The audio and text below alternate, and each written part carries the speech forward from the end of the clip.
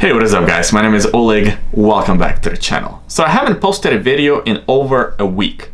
And some of you might have noticed, some of you may not have noticed. And also, where's Bond? Well, let me answer those questions. Number one, Bond, he's good. He's just sleeping on a couch, in fact. I didn't want to wake him up for the intro of this video, so he'll make an appearance in the outro of the video.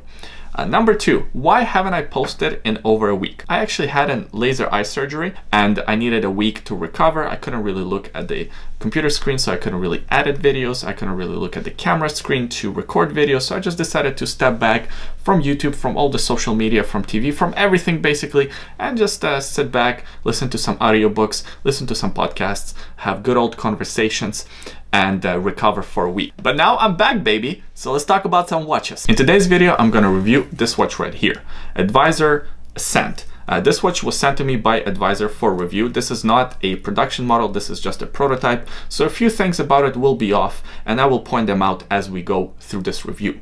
Now, Advisor is a micro brand and I am familiar with their watches. In fact, I purchased one of their watches earlier this year and I reviewed that watch. That was the Advisor Astro Helm, kind of a Panerai homage with the California dial, a throwback to some vintage divers with a double domed sapphire crystal. Uh, today's watch also provides quite a bit of value for a pretty good price. So right now they are on Kickstarter for the next, I believe, three days or so, maybe two days. And the watches for pre-order starting at 260 US dollars with a sapphire crystal in a rotating bezel, a stainless steel case, uh, Seiko NH35 movement, and all of that for $260 not a bad price. After the kickstarter campaign which by the way they are fully funded uh, the watch will retail at $400 now let's get started with the review. Advisor ascent series. Let's start the review by looking at the basic case dimensions. We have a case diameter of 42 millimeters a lug to lug width of 50 millimeters a lug width of 22 millimeters and a thickness a hair over 13 millimeters. The watch has modern diver watch dimensions and of course this is a diver watch as I mentioned in the introduction of this video, this is not a production model, this is just a prototype model. So there are a few differences between this and the final version, and I will point them out as we go through the review. Uh, now the case does look like it's bronze, but it's not. In fact, it is a uh, stainless steel case. And uh, upon a first look, it kind of looks like it's bronze, but upon a closer inspection, it gives it a little bit of a rose gold color. Uh, some people might be into it, some people might not be. Uh, just keep in mind that in person it kind of does look a bit rose gold. The shape of the case and the finishes on the case are very interesting. So let's start with the shape. Of course we have kind of this round bezel, then we have this octagon shape behind it, and uh, then we have kind of a standard diver watch uh, case with curved in lugs and some sharp angles. Uh, the finishes on the watch are a combination of brushed finishes like you see here on the sides and on the top, as well as some polished finishes like you can see here on this octagon shape or uh, I don't know how many edges this shape has. Maybe it's not an octagon, but for the sake of this video, we'll just call it octagon shape. So quite a few different contrasting uh, shapes and quite a few different contrasting finishes. Looks quite nice. The finishes are not bad, especially for the price of this watch. On the right hand side of the case, there are two crowns. The crown at the bottom by the four o'clock position. That's the main crown for uh, the mechanism of the watch. The watch is powered by the Seiko NH35 movement. By now, you should probably be familiar with this movement. It has 24 jewels, 42 hours of power reserve. It vibrates at uh, 21,800 beats per hour, a reliable movement, a robust movement, and is a choice for a lot of micro brands for a lot of different uh, watches. Now, because this is a prototype version and not a final production version, uh, the crown uh, is not a screw down crown in this version. In a final version, it will be. And in fact, I can't really do anything with this crown other than hand wind the movement uh, because once again, it is a prototype version. The crown by the 2 o'clock position, that's the crown for the inner rotating bezel. I really do like the look of an inner rotating bezel. It, I think it looks really good, kind of gives it a throwback to some of the vintage diver models. Taking a closer look at this dial and it is gorgeous. I really like this deep royal blue, the sunburst effect. It's a nice contrast between this and this rose gold or bronze color. Uh, it plays with the light really nicely. Uh, there are some outdoor shots here, and uh, yeah, it just reflects the light really, uh, really well. Quite a bit of lume on this dial. Let me pop a lume shot on the screen right now. As you can see, even the inner rotating bezel is also lumed, which I think is the right call for this watch. Of course, we have the date window by uh, the three o'clock position. On the dial here, it says advisor, that's the company, automatic, and 200 meters of water resistance. All applied indices for hour markings. I do like the depth of this dial.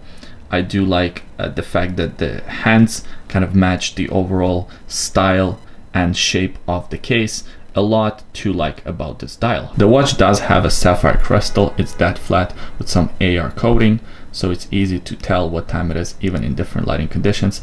And I think it was a right call to apply AR coating to this crystal because you really want to see that uh, dial, you really want to see that sunburst effect play with light instead of seeing the reflection off of the crystal. Taking a look at the case back, we can see this octopus here and the diver kind of going towards an octopus kind of a cool engraving. Uh, the case back is done really well. It's a screw down case back. Uh, advisor Ascent, sapphire crystal, uh, 200 meters of water resistance, and automatic written at the back here. The watch comes on this leather strap. The leather strap is excellent. It's a really good quality leather strap, genuine leather and advisor logo stamped at the back. Of course comes with this tank buckle, uh, advisor logo again printed here and the buckle is matching the overall color of the case. Uh, one thing that I would suggest Advisor do in the future is add some quick release pins to this uh, buckle. Again, it's a great strap, but with quick release pins, it would be much easier to exchange it, especially since this is a diver watch. I put it on a NATO strap and I think it looked great on the NATO strap. It's not too thick, so you can still pull it off on NATO. Actually, this strap that you see was sent to me by Armilla NATO straps. Uh, I will do a giveaway because they sent me a couple of different straps, so I'll do a giveaway in the future. Plus, I'll link their website in the description below if you're curious to check it out. But Advisor should definitely have added some quick release pins to this watch uh, to allow for quick strap change. One more negative that I have, and it's a small complaint, I'm sure will be addressed in the final production version. But as far as this prototype goes, uh, the crowns both are a bit sharp here. So if I run my finger through it, I can feel it uh, sharp just the way the machining is done. And again, I'm sure this will be addressed in the final production version. Of course, both crowns are signed with the advisor uh, logo. And here's what a watch looks like on my seven and a quarter inch wrist. It looks pretty good. I do wish it was more of a bronze color. Uh, otherwise, I would go for the stainless steel version. This rose gold not really my cup of tea. But I think that blue dial looks awesome and the uh, contrast between kind of the green indices and the blue dial is really, really legible in different lighting conditions. Alright guys, so that was my review for Advisor Ascent Classic. A pretty good watch for $260. If you buy it at the retail price of $400, I don't know, I think they're facing quite a bit of stiff competition at that price point. Something I didn't mention in the review portion of this video is the fact that the watch is available in a few different color schemes and combinations. My favorite is the metallic uh, dial with the stainless steel case. I think that version looks the best, although this one rose gold with the blue dial also looks pretty good. And also the watch is available with this kind of skeleton uh, dial. Not really my cup of tea, but if you're into it, uh, check it out. And of course, I'll link their Kickstarter page in a link description if you're curious about the brand and you want to check out some of their watches. I appreciate you watching this video until the end. Please leave a comment in the comment section below. Let me know what you think about this Advisor Ascent Classic. Are you picking one up? Are you skipping it? What do you think about the faux bronze look? Leave all those thoughts in the comment section below. I always enjoy reading your comments. By the way, today on my wrist, I'm wearing my Omega Seamaster. Absolutely love this watch. It's one of my favorites in the collection. This bracelet is just kick ass. Also in the description of this video there is a secret link. Check it out if you want to. I appreciate you watching this video. I hope you had fun. I hope you enjoyed it and I will see you guys next time.